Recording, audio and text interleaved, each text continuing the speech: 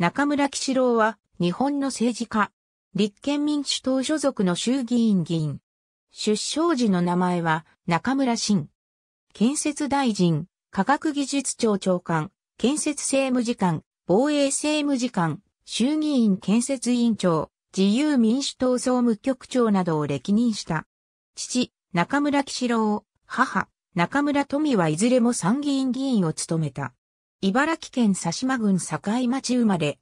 広明学園高校卒、1972年、日本大学法学部を卒業。大学卒業の直前、田中角栄事務所に入所し、田中の秘書を務める。1976年の第34回衆議院議員総選挙に、旧茨城3区から無所属で出馬し、初当選。出馬に際し、父である中村喜四郎の講演会を引き継ぎ、戸籍名を喜四郎に改める。当選後、自民党から追加公認を受け、後に入党する。自民党入党後、田中角栄が率いる木曜クラブに所属した。1982年12月6日、第一次中曽根内閣で建設政務次官に任命された。1988年、田中派分裂に際しては、竹下登に従い、形成会に参加し、同会事務局長に就任。1989年6月23日、宇野内閣で科学技術庁長官に任命され、初入閣を果たす。戦後生まれの閣僚は中村が初めてであった。宇野宗介首相の辞任に伴い退任。後継の海部都式総裁のもと、自民党総務局長に就任した。1992年12月12日、宮沢内閣で建設大臣に任命される。1994年、ゼネコン汚職事件に絡み、自民党独占禁止法に関する特別調査会、会長代理在任中に、鹿島建設からの依頼で公正取引委員会への口利きをした斡旋収賄罪容疑が浮上。東京地方検察庁特別捜査部が任意捜査を求めるも、中村が事情聴取を拒否したため、検察庁は逮捕許諾請求を衆議院に提出して逮捕する方針を取った。衆議院で逮捕許諾請求が可決され、中村は逮捕された。国会会期中の現職国会議員の逮捕は、1967年の関谷勝利以来27年ぶりであった。なお、取り調べでは黙秘権を行使し、完全黙秘を貫いたため、供述調書が一通も作成されず、検察官の雑談や挨拶などにも一切応じなかった。7月28日に保釈。交留日数は計140日間だった。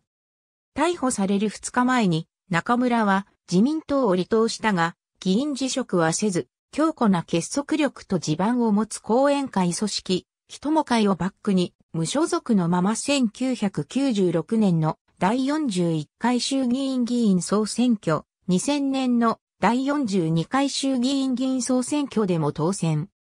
1997年10月、東京地方裁判所で懲役1年6ヶ月、追徴金1000万円の実刑判決を受け、控訴したが2001年4月に東京高等裁判所により控訴が棄却された。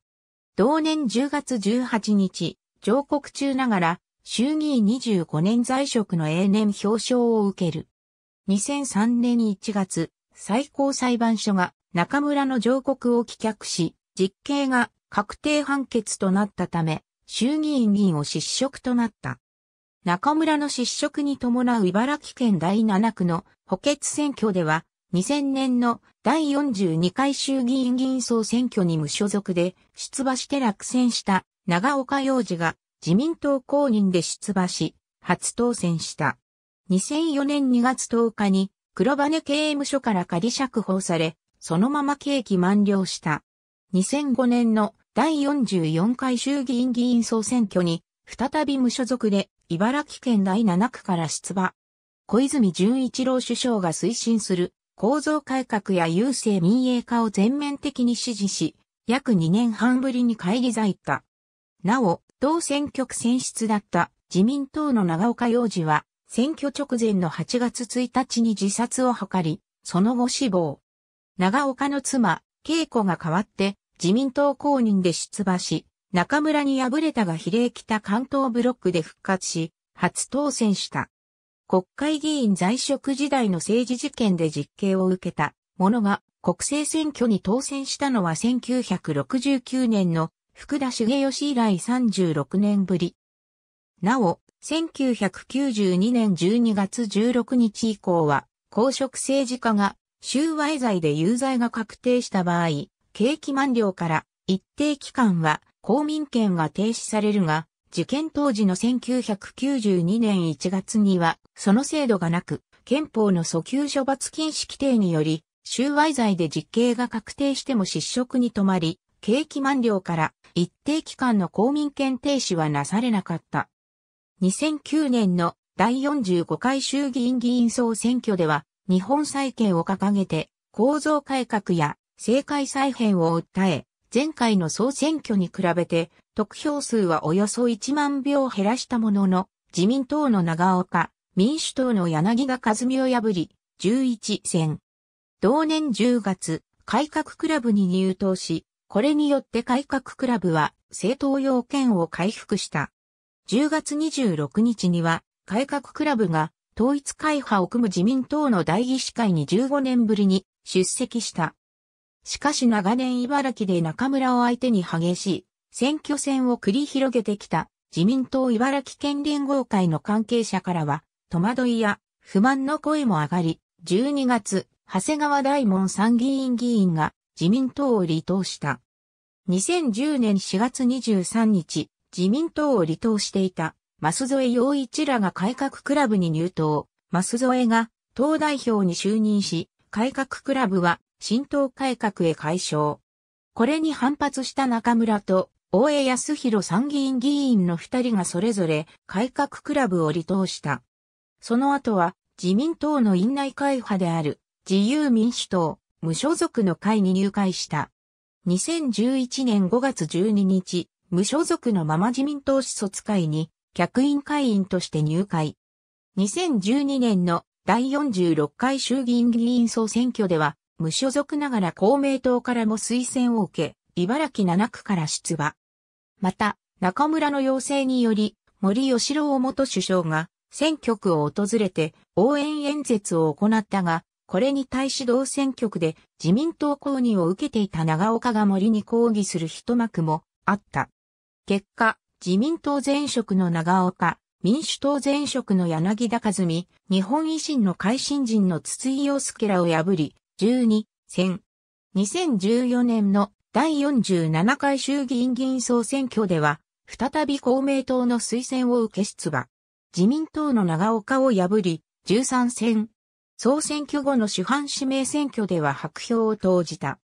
総選挙後、二階派の領袖である二階俊弘は、自民党に対し、中村や山口総ら二階派に特別会員として、所属する無所属議員の入党を求めたが、山口らは後に入党した一方、中村の入党は実現しなかった。後に2回派う大会。